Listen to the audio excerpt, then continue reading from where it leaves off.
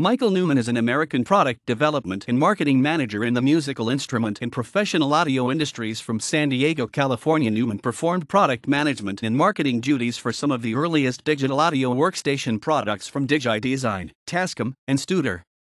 Newman worked closely with Gerry Kearby at Studer, who later went on to form the online multimedia company Liquid Audio. Newman performed marketing and product management duties for the Tascam MMR8 and MMR16 audio film dubbers, which won an Emmy in 1995 for outstanding achievement in engineering development, and an Emmy in 2000 during the Primetime Emmy Awards. In 2002, Newman joined Mackie as a senior product manager and soon thereafter became global director of product management in a restructuring move by the company.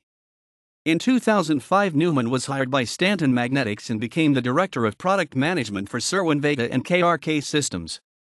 In 2009, Newman started a consulting service focused on social media marketing for musical instrument and professional audio companies.